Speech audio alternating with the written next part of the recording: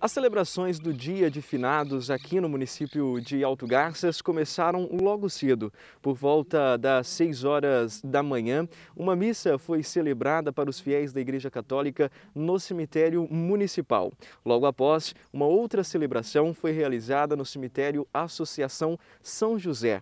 O clima aqui no município está propício para estas visitas, algo que deve acontecer durante todo o dia de terça-feira. Todos nós celebramos de alguma maneira aqueles que já se foram desta vida, né? O ser humano traz em si essa necessidade de vida eterna. Nós não nos conformamos com a morte.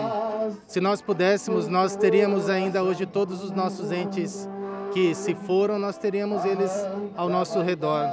A morte não foi feita para nós, ou melhor dizendo, o ser humano não foi feito para a morte, o ser humano foi feito para a vida. E celebrar o dia de finados é celebrar a esperança da vida eterna.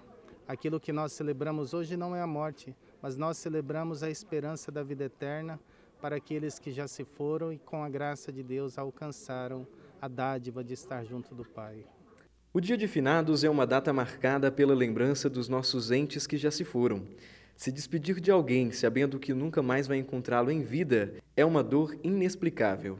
Neste dia, o Padre Marcelo deixa a todos uma mensagem de esperança. Aqueles irmãos e irmãs que infelizmente perderam seus familiares, a mensagem que nós queremos deixar é a mensagem da esperança. A mensagem de que a morte não é o fim. Aqueles que se foram não chegaram ao fim da sua existência mas passaram desta realidade, deste mundo que nós estamos, para uma outra realidade.